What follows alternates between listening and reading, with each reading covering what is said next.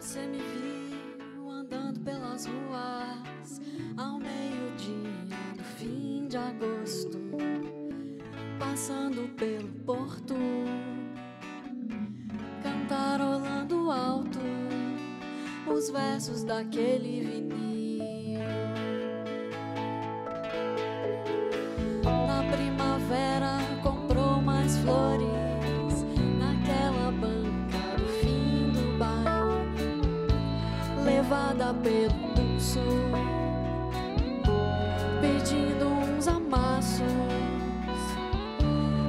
Dançando aqueles passos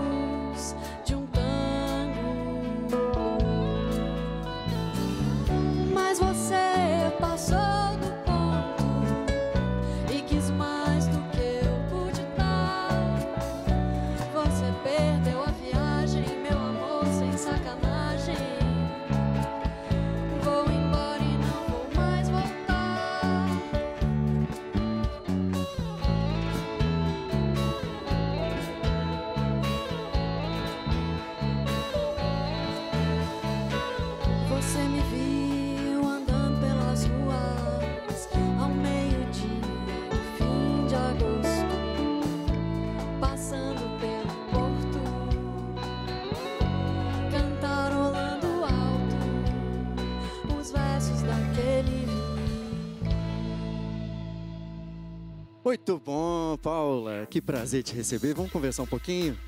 Vamos lá. Paula, você é, mineira? Você é de BH? Eu sou de Guanhães, Guanhães. de Minas. Que delícia. oh, que som bom, viu? Ah, obrigada. Prazer te receber. Prazer né? estar aqui. Apresenta sua banda. Suzuno Leles, é, violonista e meu companheiro também nas vozes. Bruno, desculpa, Lucas do carro na, na bateria, porque Mas ele, é parece, ele parece com. Bruno Mars, aí a gente chama ele de Bruno Olha só, e não é que é mesmo? Augusto Siqueira no baixo, Lídia Eloane na percussão, Bruno Rocha, finalmente o Bruno nas guitarras e Maurício nos teclados. É uma grande banda. Obrigado por vocês terem vindo. Você lançou um EP em 2015, está lançando outro agora. Lancei um disco agora em abril. É, foi um show bonito lá no teatro, no Cine Brasil. E agora a gente está fazendo mais shows. Pelo mundo, né, Paula? Sim, estive na Argentina, foi muito legal. Quantos meses que eu tento te trazer aqui e não consigo? Tempão, né? Não é? Desde que eu comecei aqui, ó, em fevereiro. Mentira. Sempre muito, muito concorrida a agenda da Paula. Não, Mas que bom imagina. que você veio. Um prazerão estar aqui. Vamos conversar mais daqui a pouquinho. Vamos sim, Pode ser? claro. Então tá. Obrigada. Bom, agora a gente está falando, né, sobre o fim da censura no Brasil, que completou 29 anos na semana passada. Você está por dentro do assunto? Uma dica bacana para quem quer se inteirar mais dessa época, que a gente espera não se repita, né?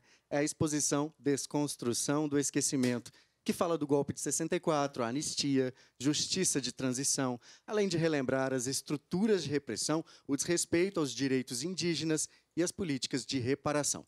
A mostra revisita o período e traz obras inéditas de oito artistas. A exposição fica até 31 de agosto no Centro Cultural UFMG, que está localizado na Avenida Santos Dumont 174, no centro de BH.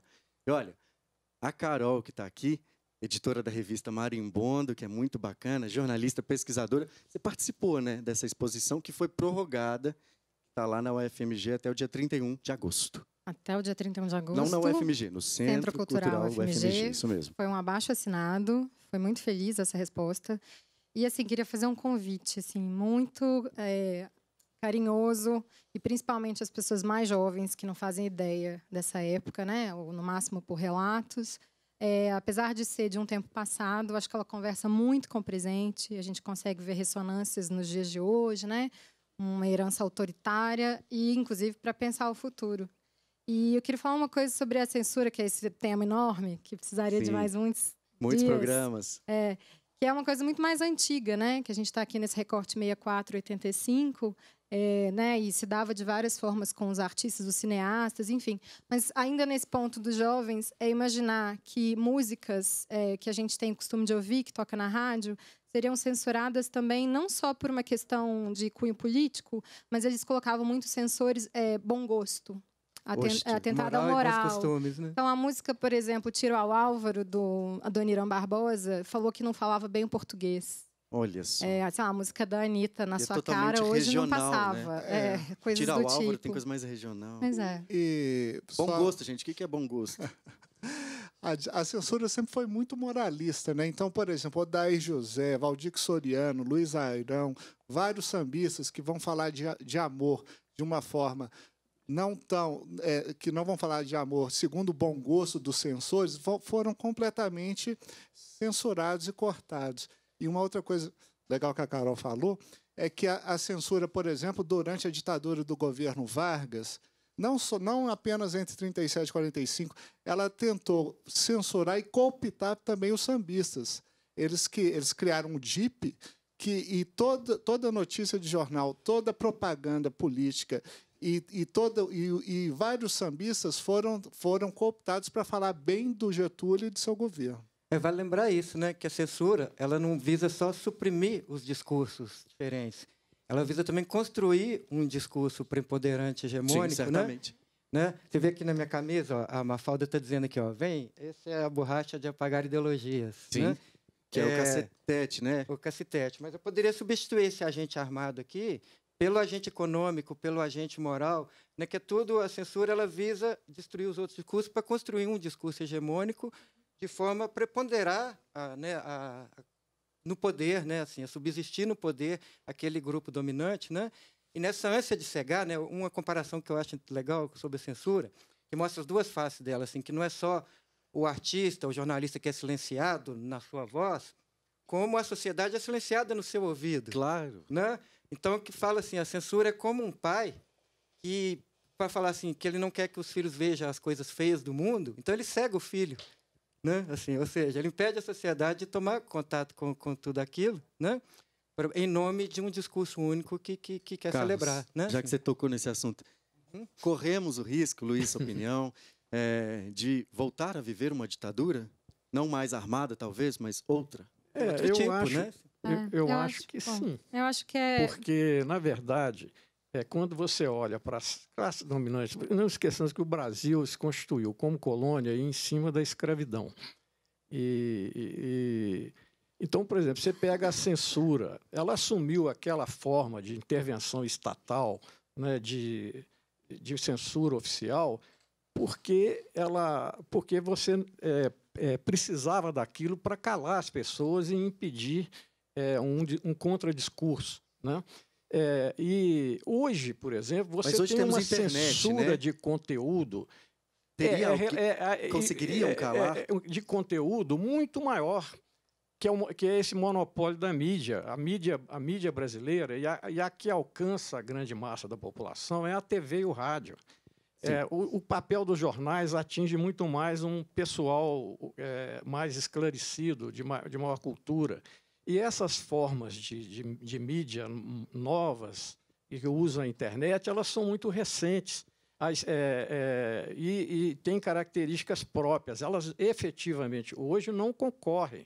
É importante porque você quebra, você é, ganha um mecanismo a mais de articulação, de informação rápida, mas você tem hoje, por exemplo, a- a- dom- o domínio da grande da mídia no Brasil hoje pertence a cinco famílias. Sim, sim, sim. Perfeito, É, Luiz. e aí elas vendem o que elas querem, falam o que querem e, e ocultam o que, Sim, sim. o que, o que existe. Eu queria falar, eu não sei se. Eu, eu- eu gostaria de acreditar que a gente está livre, pelo menos, dos tanques e afins, mas isso não significa que a gente não está livre de algo mais sofisticado, né?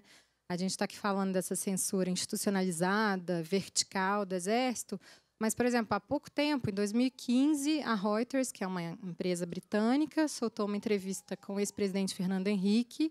É, enfim, em um determinado momento passou escrito assim: é, se quiser, pode. pode é, como é que é? Se você quiser, a gente pode retirar. Você vê como esse, esse, Ainda essa presente, relação né, ainda é gente? muito. Não, é que vem por outros. Vem por outros lugares, assim. Essa autocensura passa por. Bruno, a história se repete, né? Em Existe termos- esse clichê, termos- né? Que a termos, história... É, a, a história não, não se repete porque somos personagens diferentes, em contextos diferentes, em lugares diferentes. A gente está falando de censura e do risco de que ocorra um novo golpe, se é que já não aconteceu. Mas o fato é que, enquanto houver pessoas na rua enquanto houver artistas cantando, os jornalistas trabalhando na informação, ah, como eu falei no início, a censura vence quando o silêncio se instala. Então é preciso não deixar que esse silêncio volte a acontecer novamente. Ah, Enquanto houver esse risco, a gente tem que falar e gritar para todo mundo ouvir. Como que a gente pode gritar, hein, Paula? Eu acho que, falando de amor, eu, eu componho músicas de amor, falar de amor é importante.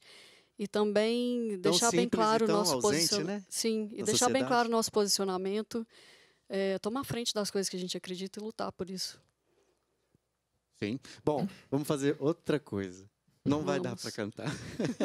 tô adorando esse programa, que tá saindo tudo do combinado. Não tem problema nenhum, gente. Você vai cantar no, no início do quarto e no final, pode ser? Maravilha. Eu quero ouvir a história do seu tio avô. Poxa, que bacana. A gente já volta até já. Thank